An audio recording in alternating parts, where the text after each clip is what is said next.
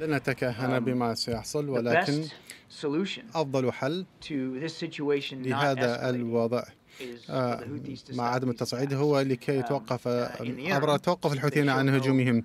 بما أنهم لم يظهروا أي رغبة في ذلك فسوف نفعل كل ما علينا فعله لحماية الشحن في البحر الأحمر ولن أجيب أكثر من ذلك.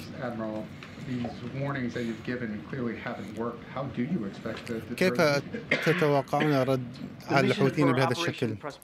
آه، مهمة هي ردع الهجمات ومنعها من الحصول وكانت ناجحة بشكل كبير من خلال إسقاط كل ما يطلقونه من السماء. نحن نطالب مرة أخرى وكما قلت نطالب الحوثيين بوقف هذه الهجمات وسأكرر ما قلته. فسوف يتحملون عواقب أي فشل في القيام بذلك سؤال عن إسرائيل. قلتم بأن الرئيس بايدن تحدث مع نتنياهو. حسب علمنا أنه تحدث في نهاية شهر ديسمبر أي منذ 18 يوما. منذ تحدث بايدن مع رئيس الوزراء وهذه أطول فترة آه، مضت من دون أن يتحدث منذ بداية الحرب.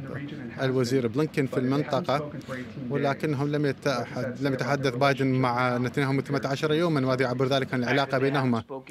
حقيقة عدم تحدثهما لأي عدد من الأيام أنت قلت 18 يوما هذا لا يعبر عن أي شيء عن العلاقة بين رئيس الوزراء ورئيسنا. أو بين أمريكا وإسرائيل.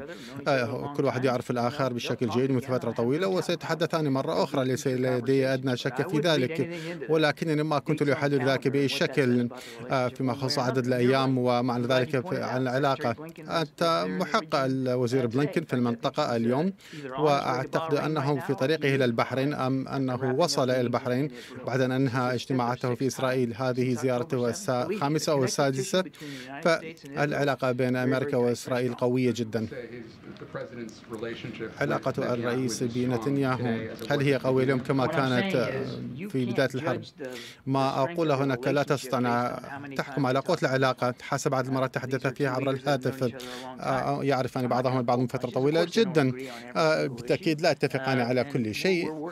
ونحن نعمل على عدة مسائل الآن فيما يخص القتال في غزة ولكن هذا لا يعني من أنهما لا يوجد خط مفتوح بينهما.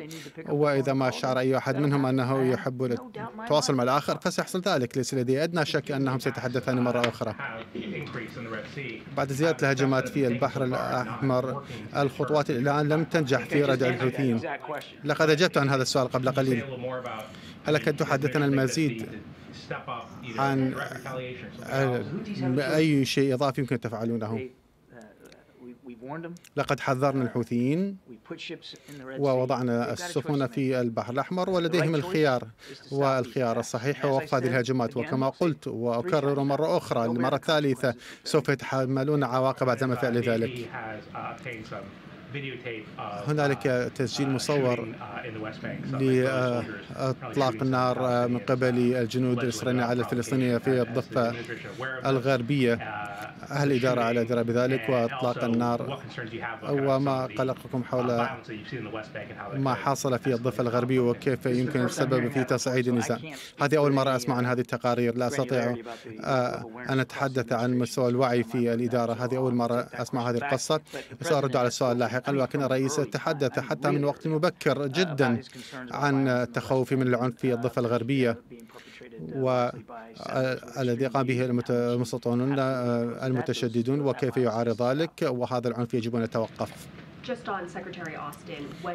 حول الوزير أوستن عندما أدرك جيك سوليفان أن أوستن في المستشفى هل سأل لماذا؟ هل منح سببا؟ uh, نعم بكل تأكيد أراد أن يعرف لماذا الوزير أوستن في المستشفى ولكن uh, لن نتحدث عن التفاصيل كل مكالمة أجريناها مع وزارة الدفاع منذ اكتشافنا للأمر بلا شك كلنا تابنا الفضول لمعرفة ما حصل وزير الدفاع وعضو رئيسي في هذه الإدارة.